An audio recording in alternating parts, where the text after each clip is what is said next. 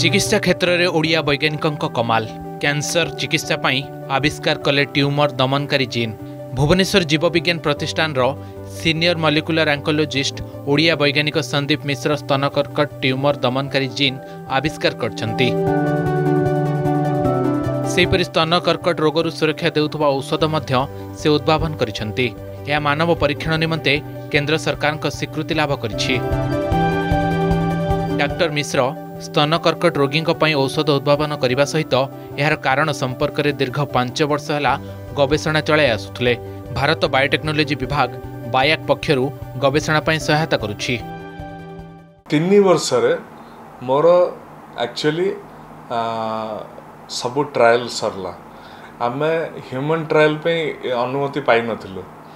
ଆମେ mouse model plus ଚିକ୍ cam model ଏଇଥିରେ ସବୁ ପ୍ରୁଭ୍ କଲୁ ଇଭେନ୍ ଟିସ୍ୟୁ କଲଚରରେ ଆମେ ପ୍ରୁଭ୍ କଲୁ ଯେ ଏଇଟା ଡିଜିନେପେ ଯେଉଁଟା ମୁଁ ଆବିଷ୍କାର କରିଛି ସେଇଟା ପୁରା କ୍ୟାନ୍ସର ବ୍ରେଷ୍ଟ କ୍ୟାନ୍ସରର ଥାର୍ଡ଼ ଷ୍ଟେଜ୍କୁ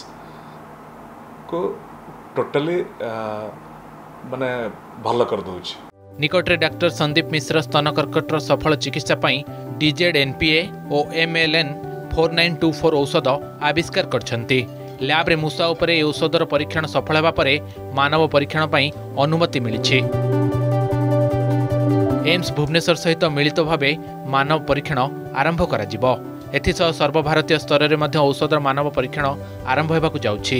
ଏ ପରୀକ୍ଷଣ ସଫଳ ହେଲେ ଏକ ମାରାତ୍ମକ ବ୍ୟାଧିର ସହଜ ଉପଚାର ପାଇଁ ପଥ ପରିଷ୍କାର ହେବ। ଯେତେବେଳେ ହ୍ୟୁମାନ୍ ଟ୍ରାଏଲ୍ ସକ୍ସେସଫୁଲ୍ ହେବ ସେତେବେଳେ ଡେଫିନେଟଲି ଲୋକଙ୍କୁ ଦିଆହେବ ଥ୍ରୁ ଏମ୍ସ ଥ୍ରୁ ଏମ୍ସ ଯେଉଁଟା ଦିଆହେବ। ଆଉ ସେକେଣ୍ଡ କଥା ହେଉଛି ଗୋଟେ ଓଡ଼ିଆ ଲୋକ ହିସାବରେ ମୁଁ ବହୁତ ଗର୍ବିତ ଫିଲ୍ କରୁଛି। କାହିଁକିନା ଏଇ ଯେଉଁ ଦୁବାଇ ଟ୍ରାଭେଲ୍ କରିଥିଲି ଏଇନେ as guest of honour and keynote speaker because of uh, my findings of uh, medicines. କର୍କଟରେ ଟ୍ୟୁମର ଦମନକାରୀ ଜିନ୍କୁ ବିଶ୍ୱର ବିଭିନ୍ନ ଖ୍ୟାତନାମା ଗବେଷଣା ସ୍ତନ ସଂସ୍ଥାଙ୍କ ପକ୍ଷରୁ ସ୍ୱୀକୃତି ପ୍ରଦାନ କରାଯାଇଛି। ଖୁବ୍ ଶୀଘ୍ର ସଫଳ ମାନବ ପରୀକ୍ଷଣ ପରେ ବଜାରରେ ମେଡିସିନ ଉପଲବ୍ଧ ହେବ।